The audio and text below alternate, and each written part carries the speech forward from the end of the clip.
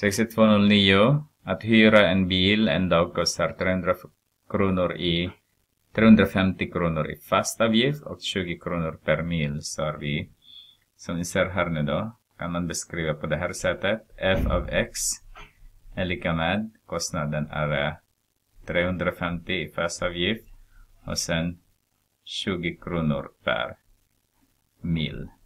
Så, inte per kilometer, per mil. Beräkna och tolka, ska vi titta. Beräkna och tolka.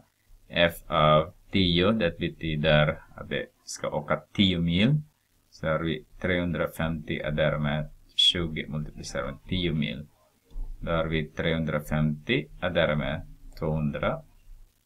Så den bilen kostar 550 kronor för att hyra i, för att köra i 10 mil. Mm. B. Vilket x ger f av x är lika med, så har vi f av x är lika med 1500. Så hur, hur långt åker vi för att uh, betala 1500? Så har vi 350 är därmed 20x är lika med 1500. Ekons lösning så tar vi båda med 350. 350 där. Så har vi 20x är lika med 1150. Dividerar vi båda med 20. Med 20. Så x är lika med 11 dividerar med 2 blir det 5. Och sen 1 där.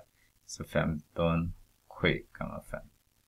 Så då tog vi bort den där igen. Så har vi 57,5 mil.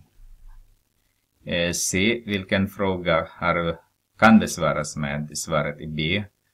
Ja, det har jag sagt innan egentligen, innan jag läste den här. Alltså hur många mil åker vi för att få betala 1500? Och det svaret är 50